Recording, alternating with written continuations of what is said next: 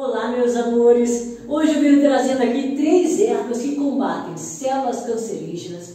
Você que está com nódulos, tumores, cistos, você que está com hemorroidas, você que está com a próstata inflamada, a próstata crescida, que está gripado, resfriado, que tem azia, gastrite, que está com pneumonia. São três ervas juntas que têm um resultado excelente que limpa os seus pulmões e combate todas as inflamações que você tiver no seu corpo neste momento. Se você tiver com dores, inflamações no corpo, zumbido no ouvido, dor de ouvido, é dor de cabeça, cólicas, cólicas intestinais, cólicas menstruais, acaba com febre, é um excelente remédio natural e é simples, e é fácil de fazer. Você vai tomar em forma de suco.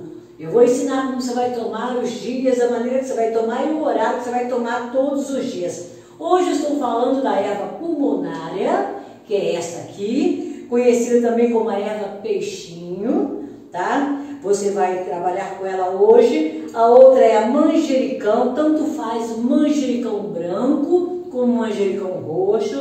Vou deixar aqui tudo aqui o nome científico para você. E a outra erva mastruz, conhecida por muita gente como erva de Santa Maria, tá? Você que tem aí no quintal Santa Maria, é ela mesma. Se você tiver as folhas grandes, você vai usar três folhas. Foi igual essa aqui que está na foto, três folhas. Se for igual as minhas, que os pés aqui, aqui de casa estão tá novinhos ainda, então não estão pequenas. Então se for igual a minha, você vai pegar cinco folhinhas. Agora se for folhas grandes, três folhas. O manjericão também estiver igual o meu ainda, você também vai pegar mais 5, 6 folhinhas de manjericão. Agora, se tiver folhas maiores, pegue 3 a 4 folhas. A erva peixinho, a mesma coisa. Se você tiver grande, você pega 3 folhas. Se tiver menores igual as minhas, pega 4 folhinhas. Você vai usar 4 folhinhas de erva peixinho, 5 folhinhas pequenas, pequenas, de mastruz ou erva de Santa Maria, ou conhecido muito como mastruços também, tá? É esta erva aqui, vou deixar tudo para você na descrição. E o manjericão, você vai usar se for pequenininho, mais 5 ou 6 folhinhas. Você vai fazer um suco para você tomar. Vou te explicar daqui a pouquinho como você vai tomar e o horário. Então você passa o seu liquidificador, quatro folhas médias, igual a minha, e se for grandes, três. A erva Santa Maria, lava tudo bem lavadinho, tá? As minhas estão todas molhadas, que eu acabei de lavar. A erva de Santa Maria eu vou colocar cinco, porque as minhas estão pequenas. Se a sua está grande, coloca três. Quem não tiver verdes, você encontra em lojas naturais desidratadas. Tanto você pode fazer tipo chá, eu ensino no vídeo, vou deixar esse vídeo na descrição para você ensinar a fazer o chá, como pode tomar verde. Com verdes assim, o resultado vai ser mais rápido.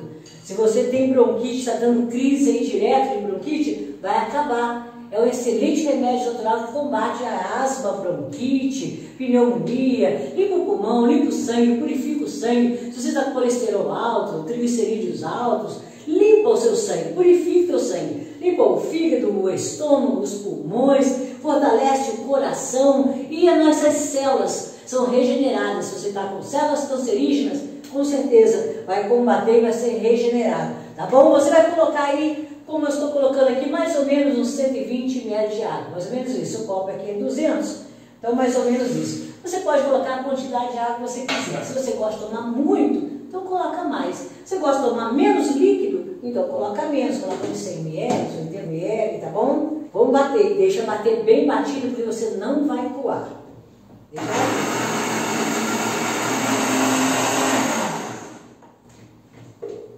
Como já disse, não coe, tá bom? Só se você tiver o estômago muito fraco, aí você precisa de coar mesmo, porque você não consegue tomar, então você coa, tá bom? Mas de preferência não coe.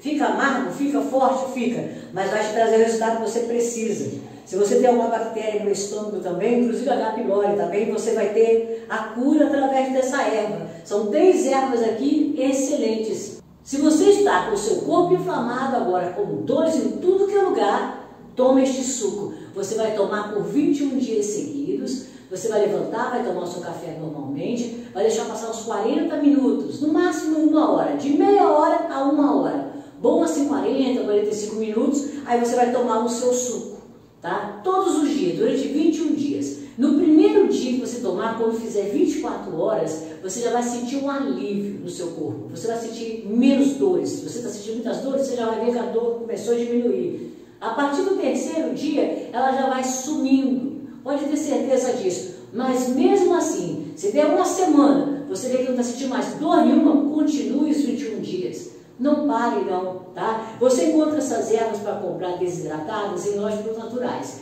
Você encontra elas verdes na feira, toda feira, todo lugar que tem feira. No Brasil todo tem feira em tudo que é lugar. Todo lugar que tem feira tem uma lojinha, tem uma barraquinha que vende plantas. Se você chegar não tiver nenhuma dessas três ervas, é só você encomendar a pessoa. Eu fiz isso, cheguei aqui no Brasil, fui na feira, encomendei a senhora que vende plantas, ela trouxe tudo para mim. Já tenho tudo plantado em casa de plantas que eu queria ter. Então é fácil de conseguir. Aqui no Brasil, graças a Deus, nós temos tudo. É só encomendar na feira e plantar no vasinho você tem em casa. Eu plantei já está tudo crescendo, tá bom? É um conselho que eu te dou. Tenha em casa, mesmo que você mora em apartamento, plante. Se você tem alguma dessas doenças que eu falei, use todos os dias, durante 21 dias.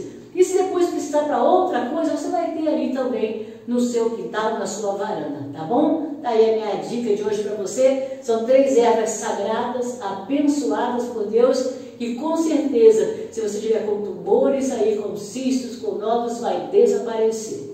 Muito obrigado pelo carinho, muito obrigado por ter assistido mais um dos meus vídeos. Espero ter gostado de mais uma dica de hoje que eu trouxe para você. Fiquem com Deus. Beijos. Tchau, tchau. Olá, meus amores. Estou de volta hoje com um chá simples e fácil que com certeza você tem ou na sua casa ou no seu quintal, porque é fácil de encontrar. São duas ervas. Essas duas ervas aqui se tornam potentes juntas. Ela combate ansiedade, estresse, depressão, se você está com o peito doendo, angustiado, sentindo até mal, achando que vai ter que dar um ataque cardíaco, alguma coisa, é um excelente remédio natural para você. Se você está com a pressão alta, também é um excelente remédio natural para acalmar, para controlar a sua pressão. E quem está com ela normal poderá tomar sem medo, porque ela não faz cair do jeito que você venha desmaiar, não. Ela regula, porque ela calma, ela é um excelente calmante natural. Então acalma os seus nervos e equilibra o seu corpo. Com isso, a sua pressão fica normal. E também se você está com tosse, com gripe, com resfriados, com vermes, é um excelente remédio para combater vermes. Com o estômago inchado, se a sua barriga está inchada, está tudo dolorido, aonde bate, dói, está com prisão de ventre, com gases, tá aí. São duas ervas simples que vai curar o seu estômago hoje através desse pequeno chá que você vai tomar no seu dia a dia. Ele também combate dores de cabeça, se você está com dor nos nervos, nos músculos, está tudo dolorido, onde você coloca a mão assim, está tudo dolorido, está sentindo o corpo todo dolorido, está aí um excelente remédio natural. E também estimula o seu sistema imunológico. Com isso, fortalecendo o seu sistema imunológico, aumenta a sua imunidade. Hoje eu estou falando de hortelã, hortelãzinho de horta e erva doce. Erva doce, não é funcho, tá, gente? Erva doce. Erva doce é essa sementinha pequenininha aqui, eu vou colocar a câmera pertinho para você ver. E o pé de erva doce é esse aqui, da flor branca, tá? Erva doce tem a flor branca. O funcho é esse aqui, tem a flor amarela. É uma outra planta, uma outra erva. Esse grávida não deve tomar. Agora, erva doce, essa da florzinha branca, essa você pode tomar tá? Pode tomar grávidas e mulheres também de idades, a partir de 70, 80, 90, 100 anos. Tá me ouvindo agora? É um chazinho que você pode tomar. Se você tem uma mamãe que tá aí, uma vovó que tá precisando de um chá e tem medo de dar qualquer erva, este chá que você pode dar, chá de erva doce com chá de hortelã, porque não vai fazer mal algum, pelo contrário, só vai trazer benefícios ao seu corpo. Para quem não conhece o hortelãzinho de horta, é este aqui, seu nome científico é este, não é o hortelã-pimenta, é o hortelãzinho de horta. E nosso hortelãzinho, nós chamamos de menta. É este aqui, o nome científico dele é este. Tá? E a erva doce, o nome científico é este aqui. Eu vou te ensinar como você vai fazer o chá agora. Qualquer pessoa pode tomar esse chá. Crianças, mulheres grávidas, pessoas de idade, pode tomar normalmente. Eu tomei toda a minha gravidez, eu tive dois filhos e todos eles tomei normalmente sempre, porque é um excelente calmante. Então, se você é agitado, tá aí um excelente remédio natural para você. Se você está grávida com pressão alta e está muito agitado, este é o remédio indicado para você. Você vai colocar apenas meio litro de água para ferver no seu fogão ou na sua chaleira. Se o seu hortelã estiver com folhas verdes igual a minha aqui, você vai colocar duas, tá? Se a folhinha estiver assim, mais ou menos assim, olha, duas a três. Não precisa mais do que isso tá? Não precisa. E se quiser pegar um pedacinho do galinho e colocar dentro também não tem problema não, pode colocar. Mas não precisa ser mais que três folhinhas de hortelã. E as sementinhas de erva doce também você vai colocar junto porque elas são sequinhas, mas são sementes. Precisa ferver um pouquinho. Então eu vou deixar ferver 5 minutinhos junto com as folhas, tá? Uma colher de sopa de erva doce, porque só vai ser uma dose no dia e três folhinhas de hortelã. Aí você vai ligar a sua chaleira ou o seu fogão aí, senta um o seu fogão e deixar ferver por 5 minutos. Depois que começar a ferver, é que você vai contar 5 minutinhos, tá bom? Não é desde o momento que liga não. Começou a ferver, marca aí 5 minutinhos, aí desliga o fogo. Então deixa ferver, daqui a pouco eu volto com você. Ferveu 5 minutinhos, desliga o fogo do seu fogão ou desliga a sua chaleira e deixa esfriar. Assim que esfriar, eu volto com você. Você que vai usar o hortelã desidratado, que não tem o hortelã verde, para fazer o chá como eu fiz, vai colocar uma colher de sopa de hortelã desidratado, tá bom? É uma de hortelã e a outra de erva doce. Agora, se for o hortelã verde como eu fiz, aí é as três folhinhas como eu coloquei, tá bom? É só você coar o chá e tomar esse chá pela manhã. Você pode tomar todos os dias, pela manhã, todos os dias. Não precisa ter certo, tem quantos dias? 15 dias, todos os dias, não faz mal algum. E não precisa ser em jejum.